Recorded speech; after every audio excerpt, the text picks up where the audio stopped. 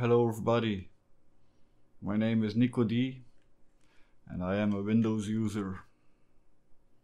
I know it's shameful to say, it is hard for me to say, but well. And now we are changing that! So I have installed Armbian Jammy on my main desktop PC and I've been using it now for a few days and I love it. I really do love it. Everything works. I am used using Armbian on SBCs, on ARM SBCs. They're not always everything is working, so everything is working on my x86 PC. I have been using Armbian before on my old x86 PC to build Armbian images. So my old x86 PC was an, is an Armbian build server with Armbian. I also uh, used Armbian in a virtual mode, so uh, with virtual, not VirtualBox, but VMware, I don't know, with VMware. So today I am going to show you how to install Armbian x86 onto an SSD, this one. So we are going to use Linux for this. I've tried it with Windows and Windows doesn't allow to write an image to an SSD. So uh, that was a problem, but Linux doesn't make a problem out of it. So I'm going to use GNOME disks to write Armbian onto this. I am now using a Samsung Evo 870, I think. 860 uh, with a USB 3, so that is how I am booting uh, Armbian right now. But I will put this SSD inside of my PC because now I am convinced that I want to use Armbian as a main desktop. So everything I wanted from it works. There is nothing I can find that doesn't work except for gaming. I can't play games, of course. Uh, the NVIDIA drivers are installed, so I've got an NVIDIA graphics card, a 1650. Uh, so that does work. We can play games, but of course, uh, some games don't work out of the box. And I didn't want to search, for example, for Anno 1800. I would have to reinstall it, but I've got my save files from Windows. So I thought I'm not gonna do the hassle. So let's install Armbian onto this, and I will show you how I used everything, how I installed everything, how I set up everything. So here we go! So first off, to download Armbian for x86 we go to the Armbian download page and there we have got generic Intel AMD. So here we have got Armbian Bullseye GNOME and Armbian Jammy GNOME. I don't like the GNOME desktop, I really hate it even. So here we have got Cinnamon, but I want Jammy, so Jammy Cinnamon. I am going to download this and then write it onto my SSD. So here it is downloaded. So all I need to do is extract it. Actually, I don't need to do that, I think. So once that is extracted, I open GNOME disks. So here it is. So now I have to plug in my SSD. So here is my SSD. So there is already Armbian installed on it. I remove all my partitions. And then I click the settings button and there restore disk image. Then select the image and burn it onto my SSD. And after that reboot my computer. Now I go into my BIOS by pressing the delete key and there I make sure that the correct file system is selected for boot. So it is correct here. Now it should boot into Armbian. So I shouldn't forget about this. There is a giveaway for the Banana Pi M5. So this is an ARM single board computer. If you are not uh, from the ARM world, you can get this for free from Armbian. Go to the link in the description here below. So this is a quad core. This has got the Amlogic S905 X3 SoC. It has got 4 gigabytes of RAM. So uh, it also has got USB 3, it has got gigabit ethernet, it has got HDMI, it has got uh, 3.5 millimeter audio jack, it has got USB-C for power. So it is a very nice board. It is just like the Odroid C4. So uh, if you'd like a board like this, go to the Armbian giveaway. And I don't see anything on my display. Again. Okay, here it is. So it is the first time I boot with this. So I first have to create a new root password. Then we have to choose our default system command shell. I am using ZSH on my installation on my Samsung SSD, but I forgot about it and I chose bash here, but ZSH is a little bit better. It is nicer to work with. Then the username, so that is NicoD for me. Connect my Wi-Fi. I choose no, because I want English and not Dutch. And then we can boot into our desktop for the first time. And here we are in Armbian Jammy with the Cinnamon desktop. So immediately there is a problem for me. So this is in 4K, I've got a 4K display, but my display isn't big enough to use it at 4K. So I need some scaling, but there is a small problem there. So there is 2 times scaling, but not 1.5 times scaling. And that is what I want. So that would be the same as using 1440p. But there is a solution for it. It is a bit a janky solution, but it works. So we open the display settings. We choose double scaling. And then we have to open the NVIDIA driver software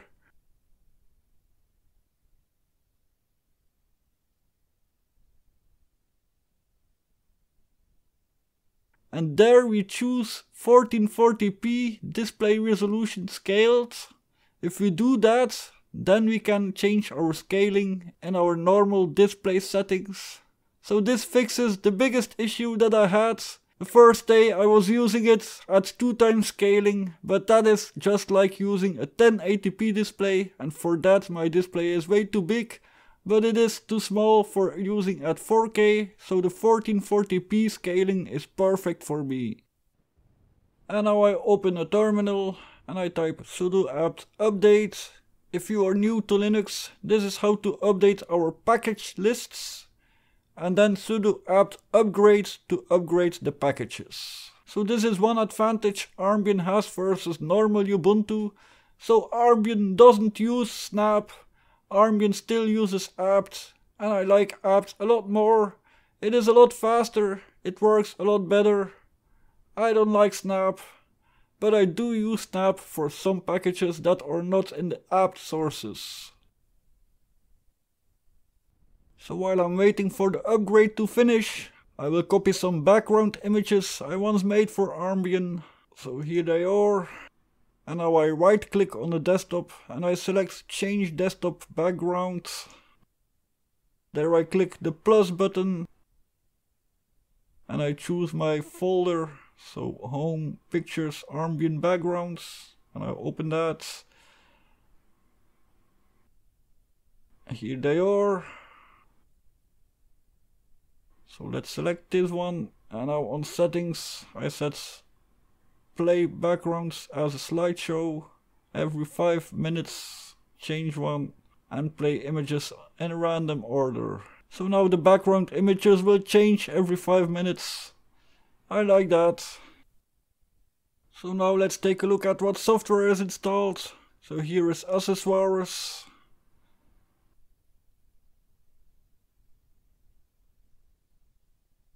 And here we have got graphics. So GIMP is installed, Pinta is installed, Office Draw. Then at internet we've got the Chromium browser, the Firefox browser and Google Chrome. We also have got Thunderbird Mail, transmission for torrent files, PuTTY, and Office we have got the full LibreOffice suite. And programming, Geany, Meld. So Geany is my favorite text editor in Linux. So in Windows I am using Notepad++ and this is the closest to it. So now let's continue our exploration. Then we have got MPV for playing video files, nothing else. Then we have got administration and preferences with all our settings.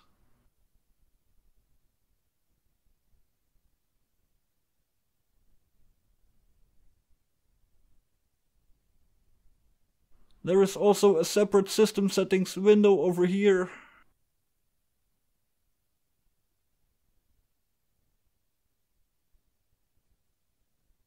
So let's start Firefox. So let's test the video playback.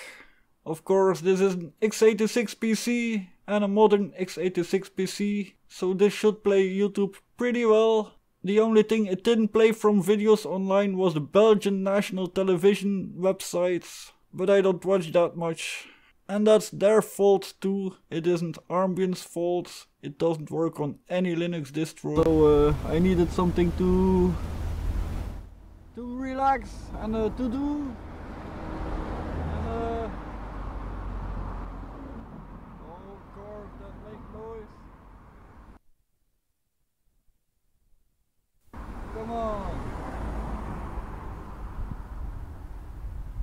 So I needed some time to relax and I had it so I'm very happy. I'm thankful to the guys to take me with them and to be able to have a bike here. That's also nice. So uh, I love climbing. So the video playback is perfect. Even at 4K display resolution and 4K files it plays perfect so let's install some software that isn't installed yet. So I need Kdenlive of course to make my videos, like I am doing now. Then Blender. I use Rhythmbox to play my mp3 files from my NAS. Only Rhythmbox does it well. I've tested a lot of other programs and Rhythmbox does this well. And I also install VLC for video playback. Now while that is installing, let me open Firefox and let's browse to my router. Here it is. Enter my password.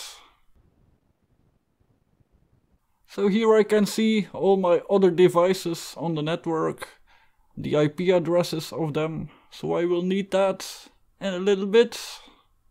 This is also something I like a lot, so that you can drag the windows to the sides and that it puts them either in the corner or uh, in the middle. I like this a lot. I use this a lot. This is one of the main reasons that I am sticking with Cinnamon. So everything is installed. Let's now SSH into this computer. So the Orange Pi Plus. That is my old NAS that I'm gonna replace next week. I have got the NanoPi R6S to replace my old Orange Pi Plus. So the problem is when we go to the network and then Windows network, there is nothing there. This does work on ARM. Not sure if it works on Cinnamon. It works on XFCE for sure. So for that I'm gonna install Thunar. Thunar is the file manager of XFCE And I'll open Thunar by typing Thunar in the terminal. Here it is. The easy thing with Thunar is you can just type here sftp colon slash slash and then the IP address of my Orange Pi Plus, my credentials,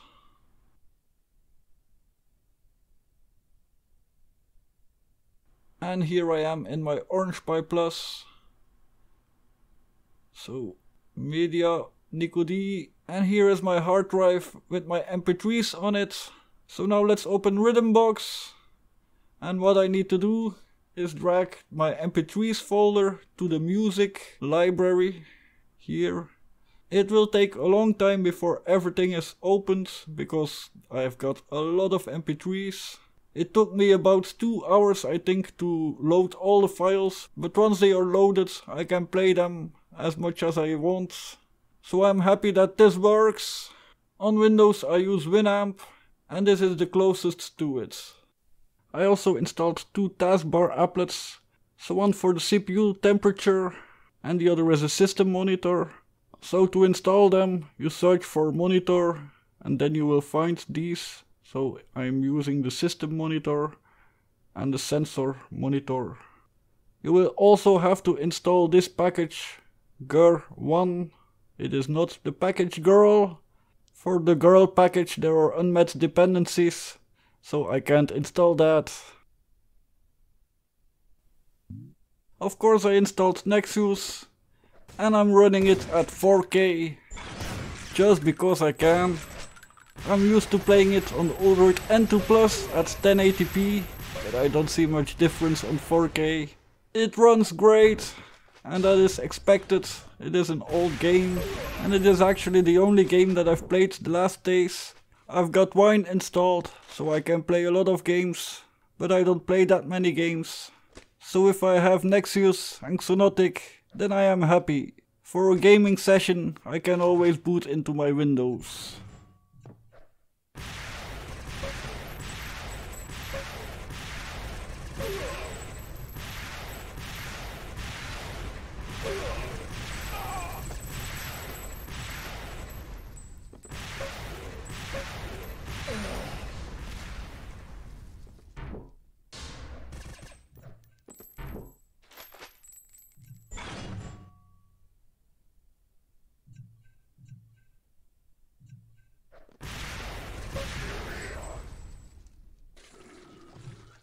I've been using Kdenlive to make this video. I am used to using Kdenlive. I use it on Windows 2. It is cheap because it is free, so it is very good. And I use Audacity to record my audio.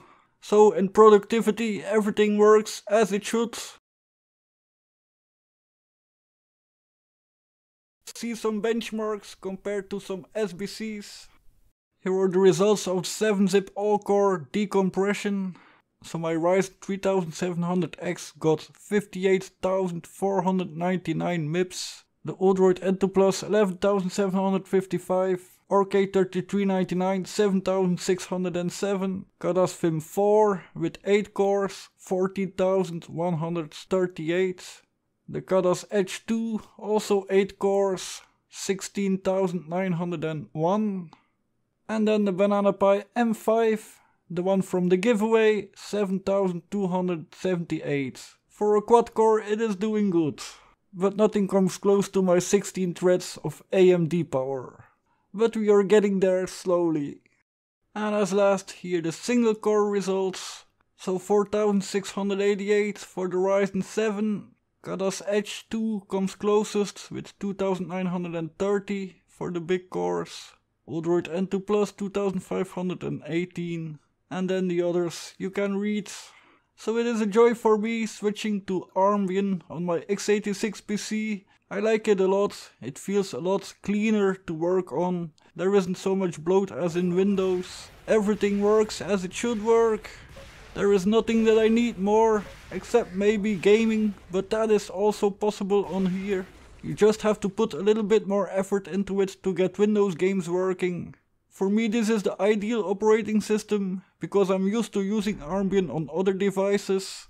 You don't have to install it, so there is no problem with grub. You just have to burn it onto an USB device, or an SSD or a hard drive. It uses apt and not snap, that is also a good thing. And it is great to have the same OS on all my devices. So I'm gonna leave it at this. I'm gonna keep using Armbian on my x86 PC because it just works. Don't forget to sign up for the giveaway for the Banana Pi M5. All subscribe to my channel, please like this video, see you all later, bye!